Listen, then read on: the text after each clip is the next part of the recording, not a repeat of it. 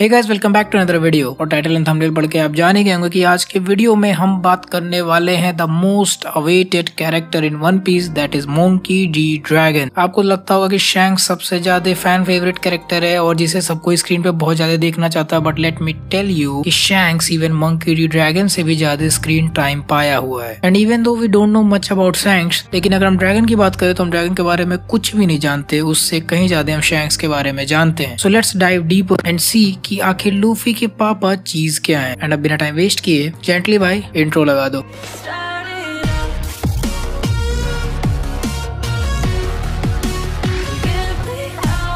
हमें कहीं पे भी ये नहीं बताया गया कि लूफी के पापा एक मंकी डी ड्रैगन कितने स्ट्रॉन्ग है। However it should be of no surprise कि ड्रैगन के पास एक्चुअली पावर है एक योंको को डिफीट करने की। देखो, हमें यहाँ पर ये ध्यान रखना चाहिए कि ड्रैगन एक योंको नहीं है और वो बाकी योंकोस की तरह घूम घूम के टेरिटरीज पे कब्जा और फॉर्मिंग अलायसेज ये सब नहीं करता। यस लेकिन हमने उसको लोगों को रिक्रूट करते हुए देखा है रेवोल्यूशनरी आर्मी में। इसका मतलब ये नहीं है की वो किसी जगह पे कब्जा करके वहाँ रहने लगा काइडो के जैसे। मैं यहाँ पर इसलिए कह रहा हूँ की ड्रैगन के पास एक योंको को डिफीट करने की एबिलिटी है है बिकॉज़ हमने ऑलरेडी देख रखा है कि उसने स्मोकर को बहुत आराम से रोक लिया था विच इन टर्न मीन्स की उसके पास हाकी की एबिलिटी है, नहीं तो वो स्मोकर को टच भी नहीं कर पाता। देन डायरेक्टली या इनडायरेक्टली वो एक काफ़ी स्ट्रॉन्ग कैरेक्टर है, वरना वो ऐसे ही world government and I don't know how many countless लोगों की हेल्प करने के लिए वो लोगों से भिड़ा है, वो ये काम नहीं करता। एंड ऑल्सो हमें ये फैक्ट नहीं भूलना चाहिए कि उसने ब्लैक बियर्ड के इन्वेजन को भी एस्केप किया है। मैं ये नहीं बोल रहा कि ब्लैक बियर्ड उस बंदे से ज़्यादा ताकतवर है। द फैक्ट ब्लैक बियर्ड के सभी के सभी क्रू मेंबर्स बहुत ही ज़्यादा स्ट्रॉन्ग डेल फ़ूड यूज़र्स हैं। मतलब कि अगर ड्रैगन वहाँ से अपने और अपने आर्मी को बचा के निकला then it means a big thing usually जब भी आप किसी स्ट्रॉन्ग कैरेक्टर से फाइट कर रहे होते हो तो आपको मोस्टली अकेले इंगेज करना चाहिए अगर आप उस जगह पे सबसे स्ट्रॉन्गेस्ट हो, वरना आपके पार्टनर्स को या फिर क्रू मेंबर्स को प्रॉब्लम हो सकती है which we have already seen in the Marineford वैसे ही अनलाइक गॉड वैली में आपने देखा होगा कि वहाँ पे कोई भी कैजुअलिटी नहीं थी, इसीलिए गार्प और Roger and even Rocks Pirates भी ऑल आउट जाके फाइट कर रहे थे, इतना कि वो आइलैंड ही गायब हो गया। तो क्या ड्रैगन बस एक स्ट्रॉन्ग कैरेक्टर है या फिर सिर्फ़ एक high being the world's most wanted man and dangerous criminal while the world government won't actively hunt you ये एक्चुअली में काफ़ी कुछ बताता है। देखो, आप ऐसे समझो कि आप दुनिया के सबसे ज़्यादा वांटेड मैन हो और गवर्नमेंट आपके पीछे नहीं पड़ी, आपके पीछे एफ़ बी आई कुछ भी नहीं पड़ा है इट मीन्स अ लॉट ना? मतलब आपकी पहुँच कहीं तो होगी। या तो डायरेक्टली वर्ल्ड गवर्नमेंट आपसे डरती है। देखो, अगर हम वर्ल्ड गवर्नमेंट को देखें तो वो अगर चाहे तो अपनी पूरी फोर्स का यूज़ करके ड्रैगन को पकड़ सकती है। तुम देख लो Akainu Kizaru Fujitora and even Green Bull और भी बहुत पावरफुल लोग हैं जो साथ में अगर आ जाए तो मे भी वो ये काम कर लेंगे। हाँ पर थोड़ा प्रॉब्लम आएगी ये करने में। लाइक like, परमिशन लेना फाइव एल्डर से और भी ऐसी दिक्कतें आएँगी। लेकिन वो लोग ऐसा कर लेंगे। अब इतनी फोर्स और इतने स्ट्रॉन्ग एंड पावरफुल लोग एडमिरल होने के बाद भी वो अभी तक ड्रैगन को नहीं पकड़ रहे हैं। तो सच में Monkey Dragon is something else वो सच में बहुत ही ज़्यादा स्ट्रॉन्ग कैरेक्टर है की वर्ल्ड गवर्नमेंट अभी तक उसे पकड़ नहीं पाई being the world's most wanted man या फिर मोस्ट वॉन्टेड क्रिमिनल्स उसके बाउंटी के बारे में बहुत कुछ बताता है। हमने अभी तक सबसे हाईएस्ट बाउंटी देखी है गोल्डी रॉजर की बट उसे भी मोस्ट वांटेड मैन के नाम से नहीं बोला जाता। The only man to hold such a title is Monkey D Dragon which actually means that he kind of has a higher bounty अगर हम उसको टॉप बाउंटी होल्डर्स के बीच में रखें। वैसे अगर हम इसके पावर्स के एनमे में रेफरेंस के बारे में बात करें तो काफ़ी सारे ऐसे सीन्स हैं जहाँ पे एक्चुअली हमें थोड़ा बहुत इंसाइट दिया गया है कि आखिर ड्रैगन की पावर लेवल्स क्या हो सकती हैं। सबसे पहले चीज़ अगर आप नोटिस करोगे तो जब लूफी याद मरा हो गया था इम्पल डाउन में, तब उसके ज़िंदा रहने के विल को देख के इवन इवान कॉव ने भी ये बात बोल दी थी कि ऐसा सिर्फ़ इसीलिए है क्योंकि तुम ड्रैगन के बेटे हो। अगर हम नॉलेज के मामले में बात करें तो यस मोंकी डी ड्रैगन के पास वर्ल्ड सेंचुरी से रिलेटेड काफ़ी सारी नॉलेज है। मुझे ऐसा लगता है और अभी लेटेस्ट के चैप्टर में इस बात को इंडायरेक्टली कंफर्म भी किया गया है। सो अगर आप मांगा से कॉट अप नहीं हो तो कोई spoiler for you Ohara island पे बस्टर कॉल होने के बाद and even tree of knowledge के जलने के बाद भी, वहाँ की जितनी भी नॉलेज थी और जो भी किताबें थी, उन्हें एक पानी से भरे हुए गड्ढे में फेंक दिया गया था, जिससे वो सही सलामत बच गई थी। और जब ओहारा जल के राख हो गया था तो वहाँ पर वेगा पंक और ड्रैगन आए थे। यहीं से वेगा पंक को अपनी सारी नॉलेज मिली एंड ड्रैगन ने भी ये सारी चीज़ें देख के डिसाइड कर लिया कि वो एक ऐसी आर्मी बनाएगा कि वो वर्ल्ड गवर्नमेंट की ये सारी हैवानियत को रोक पाए। ना मेरा ब्रेन ये मानने को राज़ी नहीं हो रहा कि ड्रैगन ने उन किताबों को नहीं पढ़ा होगा। ऑफकोर्स ड्रैगन ने उन सारी नॉलेज को इकट्ठा किया होगा, जिसके बाद उसको पता चला होगा कि हिस्ट्री में कितनी इंपॉर्टेंट इवेंट्स हैं जिसको गवर्नमेंट छुपाने की कोशिश कर रही है। इसको कवर करने के चक्कर में काफ़ी मासूम लोगों की भी जान जा रही है। That is why he decided to form the revolutionary army dragon के पास काफी ज्यादा नॉलेज है जिस वजह से वर्ल्ड गवर्नमेंट उससे डरती है वो इस नॉलेज को सभी योंग को और मे भी पूरे वर्ल्ड में फैला दे तो जो बवाल मचेगा वो इमेजिन भी नहीं किया जा सकता same like Roger saying about One Piece treasure and old man white beard saying that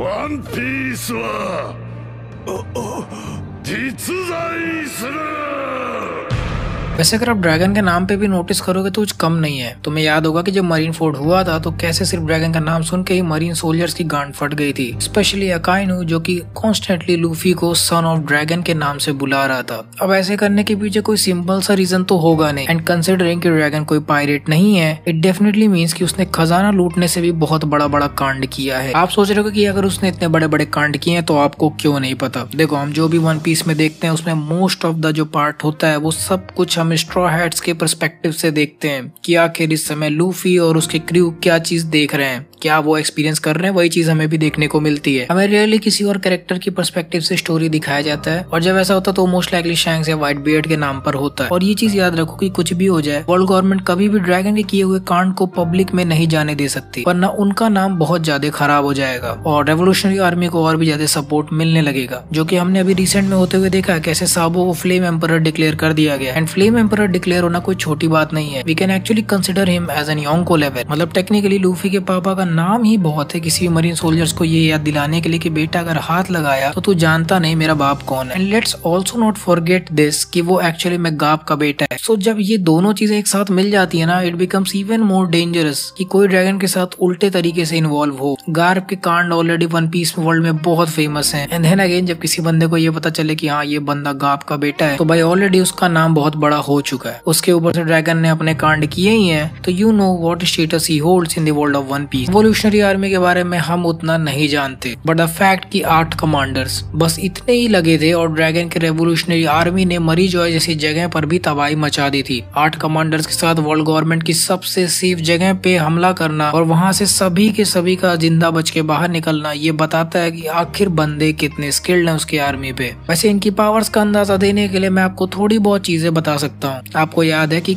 कैसे लुलुशिया किंगडम पे पीच बियर्ड पायरेट्स अटैक कर रहे थे। अब ये सीन एक्चुअली में काफ़ी अंडर है और काफ़ी सारे लोगों को इस बारे में नहीं पता बट एक्चुअली में जो पीच बियर्ड पायरेट्स थे, ये एक्चुअली में ब्लैक बियर्ड पायरेट्स के ही मेंबर हैं। आप सोच रहे हो कि आगे पीच बियर्ड पायरेट्स कितने स्ट्रॉन्ग होंगे तो मैं आपको बता दूँ कि ब्लैक बियर्ड पायरेट्स ऐसे ही किसी को भी नहीं उठाते। पीच बियर्ड पायरेट्स स्ट्रॉन्ग थे और काफ़ी स्ट्रॉन्ग डेविल फ्रूट यूज़र्स होंगे, इसीलिए उन्हें ब्लैक बियर्ड ने अपने साथ रखा था। ये सारे के सारे बहुत ही आराम से मिलकर मरीन्स को हरा दिए थे, जो भी वहाँ पलुलुशिया किंगडम की प्रोटेक्शन में थे बट रेवोल्यूशनरी आर्मी ने मिलकर इन सब का सफाया कर दिया। ठीक उसी टाइम पे हमें बेलो बेटी भी देखने को मिली थी, जो कि एक्चुअली में काफ़ी स्ट्रॉन्ग डेविल फ़ूड यूज़र है। तो इससे आप अंदाज़ा लगा सकते हो कि आखिर रेवोल्यूशनरी आर्मी कितनी स्ट्रॉन्ग हो सकती है। वैसे बताने की ज़रूरत नहीं, क्योंकि इना जुमा एंड इवान को ऑलरेडी आपने देख रखा है मरीन फोर्ड वॉर के दौरान बट स्टिल वहाँ पर वो उतने ऑफेंसिव मोड में नहीं दिखे थे, जितने की हम रेवोल्यूशनरी आर्मी से एक्सपेक्ट करते हैं। लेकिन फिर भी इतने स्ट्रॉन्ग फोर्स का लीडर होना एंड कंसिडरिंग की अब साबो को फ्लेम एम्पर का दर्जा दिया जा चुका है इट मीन्स अ लॉट और ये हमें बताता है कि एक्चुअली में ड्रैगन कितना पावरफुल इंडिविजुअल है। वैसे रेवोल्यूशनरी आर्मी का मिशन भी एक काफ़ी इंटरेस्टिंग चीज़ है जो कि हमें ड्रैगन के बारे में और भी काफ़ी कुछ बताता है। देखो योंग को क्या करते हैं कि भाई वन पीस खोजेंगे टेरिटरीज पर कब्जा करेंगे और वर्ल्ड गवर्नमेंट से बच बच के रहेंगे। ना हम उनके रास्ते आएँगे और ना वो हमारे एक्सेप्ट व्हाइट बियर और शैंक्स बाकी सभी योंकोस बस यही करते हैं। फिर चाहे वो ब्लैक बियर्ड हो बिग मॉम हो या काय लेकिन लूफी के पापा क्या करते हैं? लूफी के पापा सीधा वर्ल्ड गवर्नमेंट को ही टारगेट कर रहे हैं कि जो उखाड़ना उखाड़ लो, हम तुम्हें हटा के रहेंगे। ड्रैगन का सबसे बड़ा गोल है कि वर्ल्ड नोबल्स को हटा के किसी भी तरह से वर्ल्ड गवर्नमेंट को खत्म कर दे। क्योंकि वो वर्ल्ड गवर्नमेंट को बिल्कुल ही पसंद नहीं करता। उसके अकॉर्डिंग वर्ल्ड नोबल्स का बस एक ही काम है कि वो लोगों की फ्रीडम छीन लेते हैं एंड इवन उन्हें जान से मार भी देते हैं अपने फ़ायदे के लिए। मोस्ट लाइकली ये हेटेड तब और भी ज़्यादा बढ़ गया था जब उसने ओहारा वाला कांड देखा था। एंड इवेंचुअली जब उसने वर्ल्ड के सीक्रेट्स को डिस्कवर किया था, शायद तभी से ड्रैगन नहीं चाहता कि किसी भी तरह से वर्ल्ड नोबल्स इस वर्ल्ड पे कंट्रोल रखें। Which actually means a lot of गूदा बिकॉज़ अगर आपको पता हो तो सिर्फ़ एक वर्ल्ड नोबल को हिट करने के लिए किजारू को शवोंडी आइलैंड पर भेज दिया गया था। इवन वर्ल्ड नोबल्स को रॉक से बचाने के लिए गार्प ने रॉजर तक से हाथ मिला लिया था।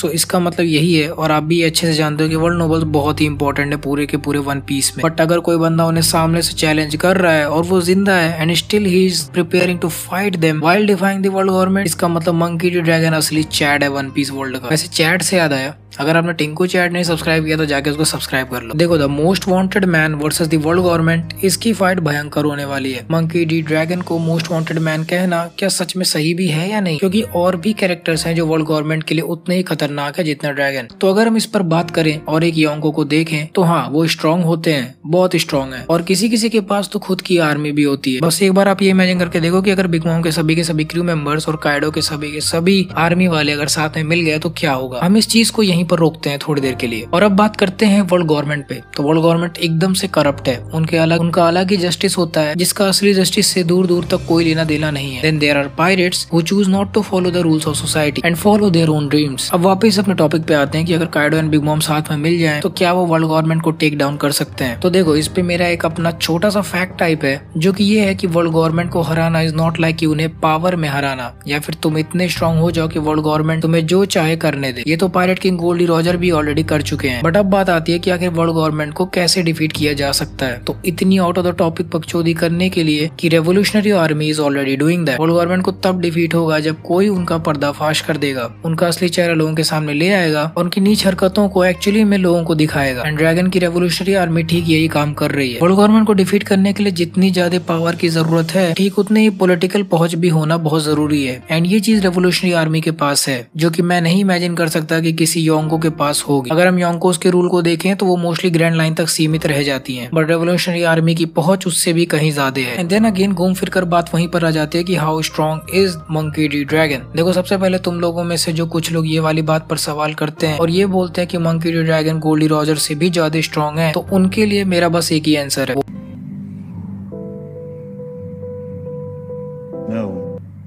ड्रैगन बहुत स्ट्रॉन्ग है but Gol D Roger is a monstrous man currently कोई भी कैरेक्टर गोल्डी रॉजर जितना स्ट्रॉन्ग नहीं है। हाँ हमारा लूवी रॉजर को सरपास कर देगा, लेकिन अभी के टाइम पे करंटली कोई भी कैरेक्टर नहीं है जो गोल्डी रॉजर जितना स्ट्रॉन्ग हो। नन ऑफ़ द कोई फ्लीट एडमिरल कोई गोरू से, और ना ही ड्रैगन ड्रैगन है strong he is the leader of revolutionary army the most dangerous criminal in the world the father of the main character but वो खामा का किसी से नहीं भिड़ता। उसके एम्स और गोल्स हैं सिर्फ़ और सिर्फ़ वर्ल्ड गवर्नमेंट को ओवरथ्रो करना। और सही बताऊँ तो मुझे ड्रैगन ब्लैक बियर्ड वाली वाइब देता है। सेम उसी के जैसा किसी से फालतू फाइट ना लेना प्लान के हिसाब से चलना, कम बोलना और उसके लिए भी सबसे मेन चीज़ है नॉलेज रही बात पावर की तो हमें ये चीज़ नहीं पता कि करंटली वो कितना पावरफुल है, लेकिन हमने ऑलरेडी इस वीडियो में बात की है कि हम आइडिया कैसे लगा सकते हैं। It is safe to claim that based on high foreshadowing implication and story purpose that he is on the level of strongest characters in One Piece currently the emperor along with Mihawk and Akai यहीं पर अगर हम fact की बात कर ही रहे हैं तो पायरेट किंग इन सभी से एक लेवल ऊपर थे। Roger in prime could beat any of this characters बहुत आराम से तो नहीं बट हाँ वो डिफीट कर सकता था। But the most important question still remains in the mind of One Piece fans और वो है कि आखिर इस बंदे का डेविल फ्रूट क्या है और इसकी वाइफ कौन है? Monkey D Dragon is the most mysterious character in the One Piece world और हमें उसकी पावर या डेविल फ्रूट के बारे में कुछ भी नहीं पता। हमें तो ये भी नहीं पता कि उसके पास डेविल फ्रूट है भी या नहीं। बट आओ, थोड़ा समय पीछे चलते हैं। 1072 से बहुत पीछे चलते हैं। एपिसोड नंबर 52 पे, जहाँ ओडा सेंसे ने पहली बार हमें मिलवाया था लूफी के पापा एक मंकी ड्रैगन से। वहाँ ड्रैगन के आने से पहले क्या मस्त धूप निकल रही थी? लेकिन जब ड्रैगन की एंट्री हुई तो तेज आंधी तूफ़ान और बहुत तेज बारिश होने लगी थी। वो इतनी तेज थी कि इवन छत भी टूट रहे थे। और हमने बिजली भी गिरते हुए देखी थी जो कि सीधे सीधे जाके बगी के ऊपर गिरी थी। This gives the idea that Dragon has some sort of weather controlling devil but if you take a look at Roger जब great battle of Edd War हुआ था, यहाँ पे शिकी द गोल्डन लायन और रॉजर पायरेट्स के बीच में fight हुई थी तो वहाँ पर भी बहुत बड़ा तूफ़ान आया था। वन पीस में जब दो स्ट्रॉन्गेस्ट कैरेक्टर्स भिड़ते हैं तो हमने बहुत बार देख लिया कि कैसे सडन चेंज इन वेदर हो जाता है। तो मंकी ड्रैगन के पास अगर कोई फ्रूट होगा तो कंफर्म वो वेदर कंट्रोलिंग वाला पावर हो सकता है। अगर ड्रैगन के पास कोई भी डेविल फ्रूट नहीं है तो this is some sort of advance levels of conqueror haki जिसके बारे में अभी तक कोई भी श्योरिटी नहीं है। बट इन इधर वे ड्रैगन के पास कोई तो स्ट्रॉन्ग पावर है, जिससे वो काफ़ी स्ट्रॉन्ग कैरेक्टर्स को भी डिफीट कर सकता है वन पीस के वर्ल्ड में। बात करें वाइफ की, यानी कि लूफी की मम्मी जी कौन है? देखो, हमें पता है कि ड्रैगन ही लूफी का बाप है। और लूफी की मम्मी कौन है और क्या वो हमें देखने को मिलेगी या नहीं? तो हाँ हमें आगे चल के ड्रैगन की वाइफ एक लूफी की मम्मी जी से इंट्रोड्यूस करवाया जाएगा। तो आखिर कौन है ये औरत? लूफी की मम्मी के बारे में हमें कभी भी वन पीस के वर्ल्ड में इंट्रोड्यूस नहीं किया गया है और उसके बारे में कोई भी इन्फॉर्मेशन नहीं है कि आखिर वो कौन हो सकती है। अभी के लिए हमें बस दादान को ही लूफी की मोम बताया गया है। वो भी हमें पता है की वो फोस्टर मोम है लूफी और एस की। तो मे भी हमें बहुत ही जल्द इस क्वेश्चन का आंसर मिल जाएगा। वैसे जाते जाते मैं तुम्हें बता दूँ कि एक इंटरव्यू में ओडा सेंसे ने बोल दिया था कि उन्होंने ऑलरेडी लूफी की मम्मी को ड्रॉप कर दिया है। और जब दोबारा ओडा सेंसे से लूफी के मोम के बारे में क्वेश्चन किया गया था तो उन्होंने बोला कि वो औरत कोई डेंजर लुकिंग बहुत ज़ोर से बोलने वाली और बहुत ही बदतमीज हो। इसका मतलब ऐसा हो सकता है कि कोई ऐसा कैरेक्टर था जो कि लोगों से मिस हो गया। या फिर ये एक्चुअली में दादान को ही रेफरेंस दे रहे थे क्योंकि वो भी एक्चुअली में लूफी की मम्मी जैसी ही है। But considering the fact Dragon के पास्ट को 1070 चैप्टर से भी ज़्यादा छुपा के रखा गया है बट कंसिडरिंग द फैक्ट कि ड्रैगन के पास्ट को 1070 चैप्टर और 20 से 25 साल तक छुपा के रखा गया है मतलब कुछ तो बड़ी बात है, जो कि हमें ओडा से अभी नहीं बताना चाह रहा। वैसे तुम्हें क्या लगता है कि आखिर ये औरत कौन हो सकती है? मुझे कमेंट सेक्शन में ज़रूर बताना। बाय द वे अगर आप सभी लोग को वीडियो पसंद आए तो वीडियो को लाइक करो। नहीं पसंद आए तो भी लाइक कर देना। मुझे इंस्टाग्राम एंड डिस्कॉर्ड पर ज्वाइन करो। प्लीज़ डिस्कॉर्ड पर ज्वाइन करो, वहाँ पे बहुत ज़्यादा मज़ा आता है। और इंस्टाग्राम पे मैं कुछ कॉन्टेंट पोस्ट करता रहता हूँ तो वो भी आप देख पाओगे। सब्सक्राइब कर दो, ताकि आप ऐसे और गजब के वन पीस कॉन्टेंट को एंजॉय कर पाओ। मैं आपसे मिलूँगा अगले वीडियो में so next video play on